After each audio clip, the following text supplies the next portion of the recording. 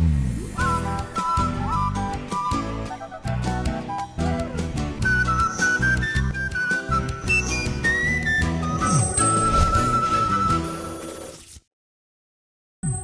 Amigos, ¿qué tal? ¿Cómo les va? Bienvenidos a nueva entrega de nuestro programa a pleno campo y como siempre con la información del sector agroalimentario. Nos ponemos en marcha luego del fin de semana largo. Esperamos hayan pasado todos un excelente día del trabajador, en especial todos aquellos que lo hacen en el campo, en los diferentes establecimientos productivos del interior de la República Argentina. Pueden estar en contacto con nosotros los datos eh, figuran en pantalla, nos pueden seguir en las redes sociales, en nuestra página web sembrandonoticias.com.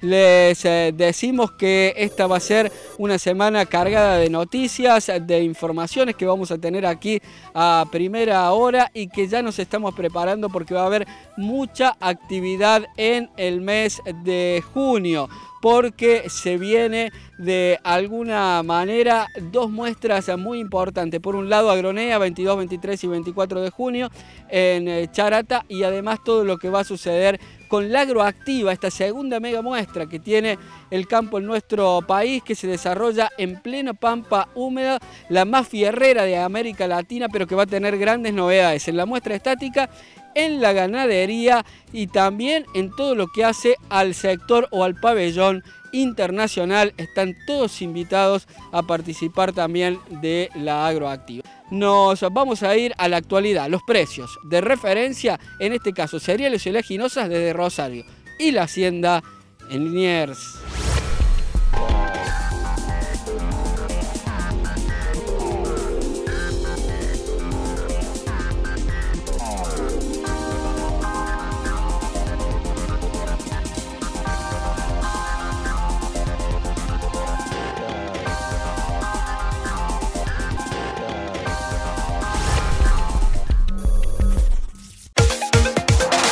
Agronea será nuevamente el punto estratégico de convocatoria a todo el sector productivo del NEA y la región. Este 2018 volvemos a unirnos para trascender fronteras. Del 22 al 24 de junio de 2018, Agronea, la decimoquinta edición, se transformará en la capital productiva del Gran Chaco Sudamericano. En Facit creemos que no hay nada más importante que la salud de tus cultivos. Así en el campo como en la vida, lo que más nos importa, mejor lo cuidamos. Facit, a la altura de tus necesidades. Abelardo Cufia, agricultura de precisión, responsabilidad, calidad, creatividad, experiencia, porque lo que hacemos lo hacemos con pasión. Abelardo Cufia, de la precisión a la exactitud.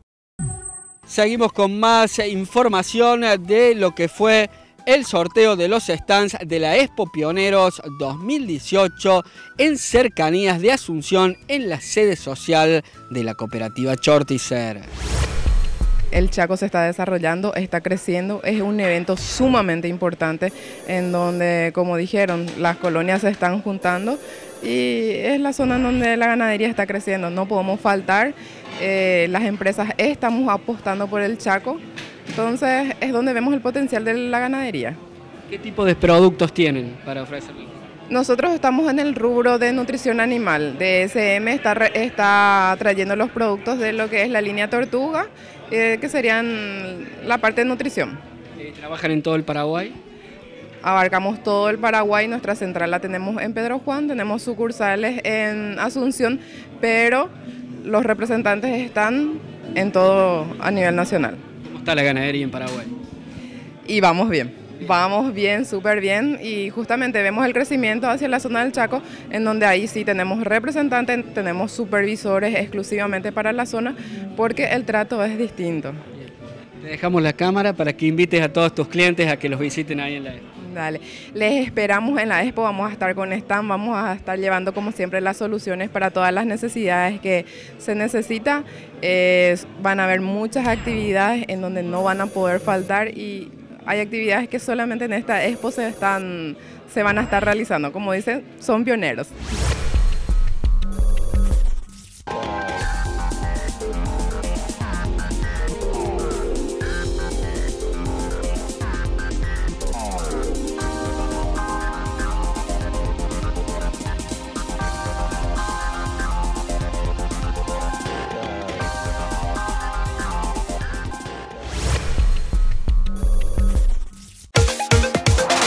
Agronea será nuevamente el punto estratégico de convocatoria a todo el sector productivo del NEA y la región.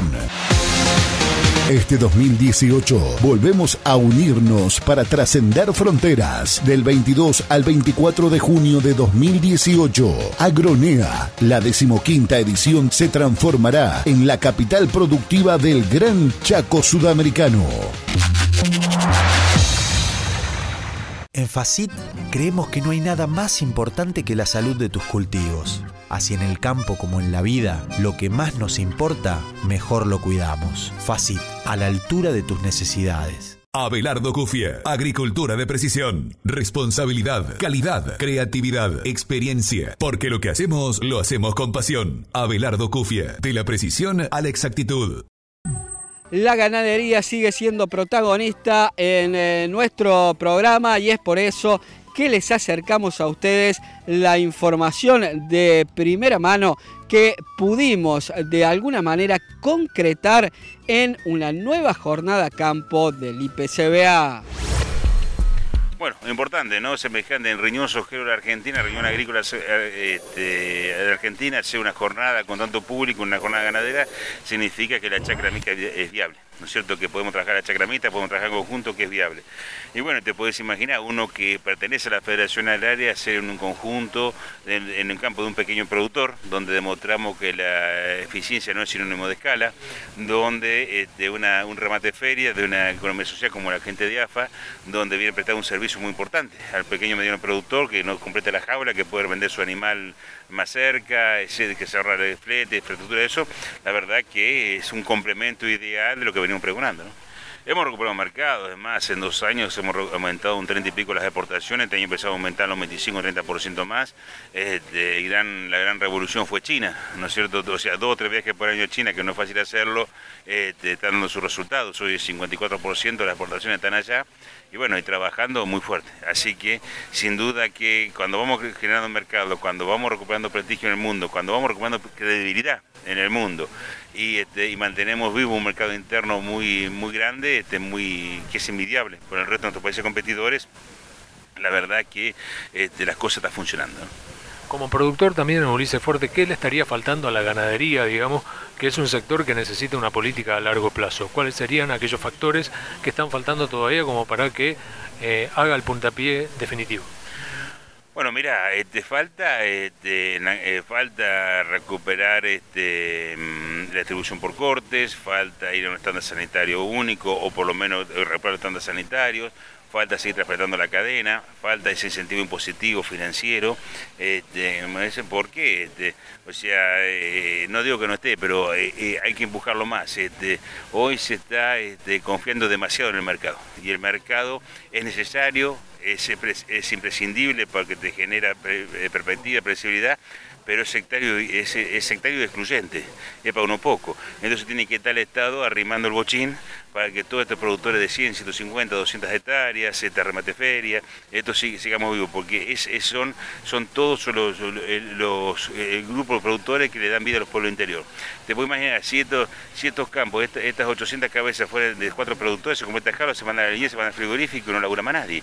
Acá está laburando la camioneta, el remate feria, el gaucho a caballo, el, transportista corto, el, el transportista, trabaja el Senasa, trabaja, o sea, es un, se mueve una economía social alrededor de todo esto que es muy importante. ¿no? Desde el instituto, ¿cuáles son las misiones más importantes que tienen programadas este año a nivel internacional? Bueno, nosotros tenemos de China con una campaña de instalación en el mercado y con las ferias, tenemos Europa con un estudio de mercado muy fuerte, este, esos son los dos grandes desafíos que tenemos. Por supuesto, seguir peleando por la partida de Estados Unidos, que no dependen tanto de nosotros, sino de buen humor del gobierno estadounidense. Este, eso es fundamental, por supuesto, acompañar en todas las comitivas oficiales que nos invita el Ministerio. Estamos, ahora estamos yendo a Japón, invitado por el Ministerio de Agroindustria, este, con Luis Miguel Echeverre, que vamos a Japón y pasamos a China.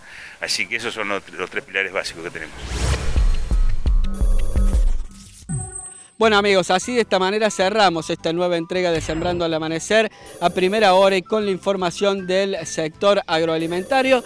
Venimos siguiendo muy de cerca lo que sucede con los cultivos en esta campaña 2017-2018. Ustedes saben las inclemencias del tiempo, la merma de producción, lo que ha sucedido con los rendimientos de diferentes regiones. Pero también venimos siguiendo muy de cerca lo que viene sucediendo con el clima, porque las últimas precipitaciones hacen presagiar una mayor intención de siembra de los cultivos de invierno, lo que se viene, para lo cual el productor se está preparando. Esperemos que el clima acompañe allí que se pueda llevar a cabo de la mejor manera. Ustedes pueden estar en contacto con nosotros, los datos figuran en pantalla, nos pueden seguir en las redes sociales, también en nuestra página web sembrandonoticias.com.